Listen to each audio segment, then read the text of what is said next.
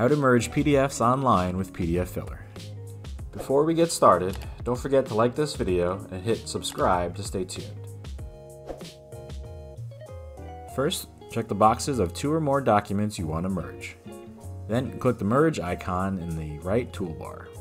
Next, you can click Advanced Settings to change the order of the documents you are merging.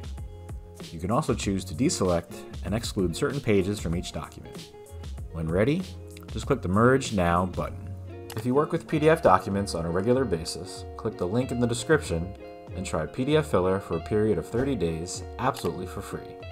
Use PDF Filler to modify your document's content, type or erase text, highlight important information, black out sensitive data, add sticky notes, images, and so on. In addition to editing PDFs online, you can print out a completed document or save it to your device as a PDF, Word, Excel, PowerPoint, or JPEG file. Send it via email, fax, SMS, or USPS.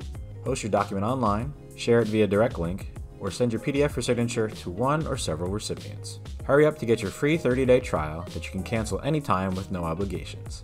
Don't forget to subscribe and let us know in the comments section if you have any questions.